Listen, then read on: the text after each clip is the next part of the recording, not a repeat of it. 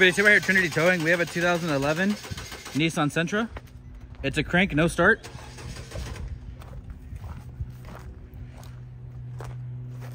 Pretty nice looking car.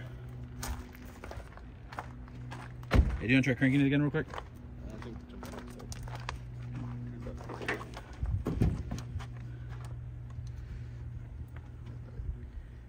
We're gonna turn the jump box back on real quick. So you can hear it crank.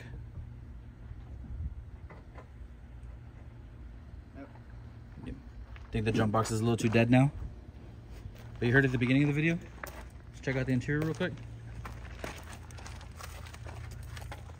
Gray seats on the inside. Headliner looks good. Automatic transmission.